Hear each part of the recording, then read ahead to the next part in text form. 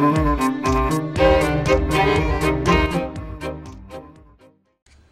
this is so cool. I just started doing this new method called the LOCO method.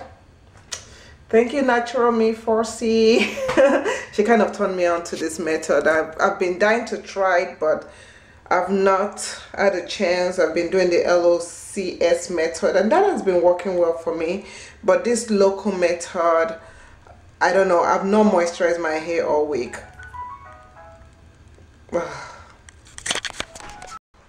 So with this LOCO method, I've not moisturized my hair all week. I mean, if I can stop touching it. See, it's getting frizzy right there because I keep on touching it. But yeah, so my hair is pretty moisturized. It's fluffy. It's not weighed down. It has movement and I just like it. It's really cool. So I think this is the new thing I'm going to be trying in March. My hair has been behaving really well since I started doing the garlic treatment. So, um, yeah, I really like it. And of course, it looks bigger in the mirror versus in true life.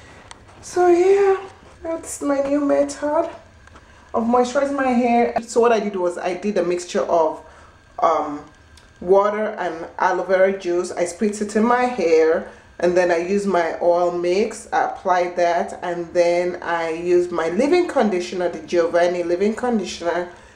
And last of all I sealed it in with some castor oil.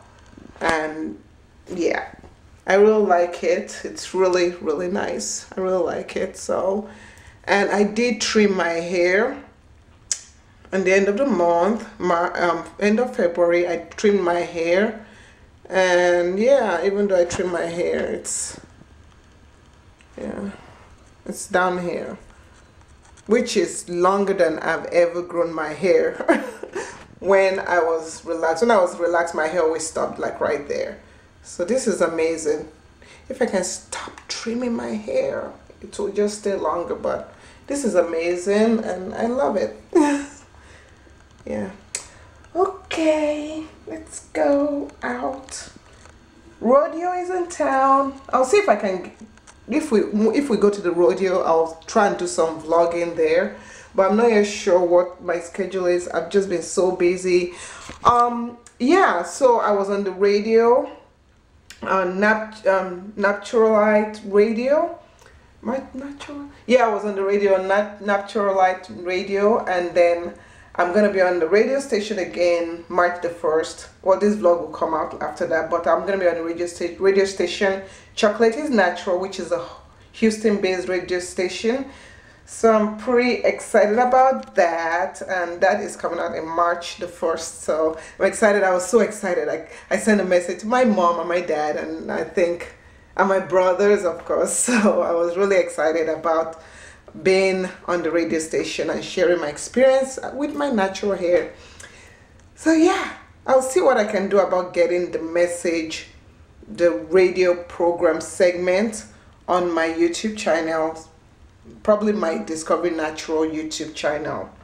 So I think that's it. Am I the only one that wears my husband's watches? I don't know. He has so many cool watches, so I just I just wear them because they make me feel big. I have skinny hands. Skinny hands, skinny.